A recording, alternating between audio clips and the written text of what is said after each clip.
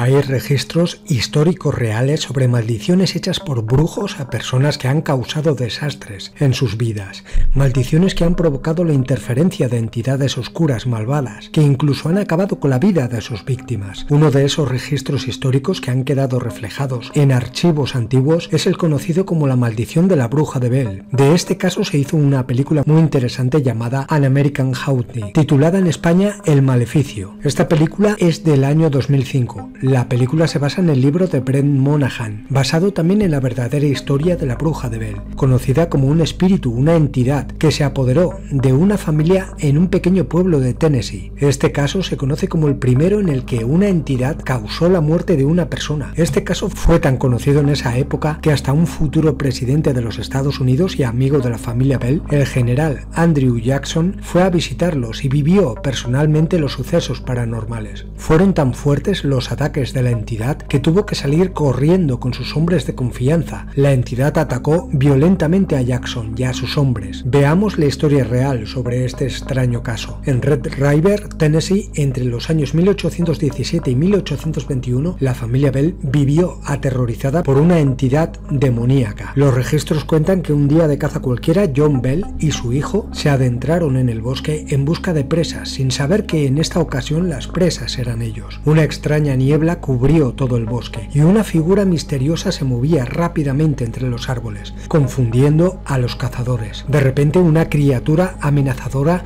se materializó de la neblina y se lanzó violentamente contra John. Con el rifle cargado, este disparó a la bestia, pero la criatura se esfumó tan rápido como había aparecido. Ese día, extraños ruidos comenzaron a escucharse en la casa de los Bell. Parecía que alguien estuviera arañando y golpeando las ventanas. El suelo crujía bajo el de pisadas invisibles, como si alguien o algo estuvieran moviéndose por la casa. Repentinamente una terrorífica presencia apareció en el dormitorio de la hija de John Bell, Betsy. Le arrebató las mantas y susurró su nombre con una voz de ultratumba. Al principio la familia intentó convencerse de que estos miedos eran causados por pesadillas, pero eso no era más que el principio. Los eventos paranormales iban en aumento en la casa de los Bell. Una noche los padres de la niña subieron corriendo las escaleras y se encontraron a Betsy luchando por su vida mientras era arrastrada violentamente por el suelo por un ser invisible, por una entidad invisible con una fuerza sobrehumana que le arrancaba el cabello. Suspendida en el aire, Betsy fue abofeteada, golpeada, maltratada, mientras su madre, su padre y los amigos observaban con horror lo que ocurría sin poder detener lo que estaba ocurriendo. Esta entidad atacó a la familia cada noche, durante cuatro años consecutivos. El fenómeno combinaba susurros, golpes, gritos que iban en aumento hasta convertirse en ataques violentos hacia la familia. Se presentaba repentinamente, los asustaba, los torturaba y luego desaparecía hasta la noche siguiente. Con cada brutal ataque, la entidad se hacía más fuerte. Se alimentaba del miedo de la familia. Los hablaba, se burlaba de ellos y los insultaba, desesperados por saber qué era o cuál era el origen de esos maliciosos ensañamientos, buscaron la ayuda del residente más culto del pueblo, un amigo de la familia llamado Richard بول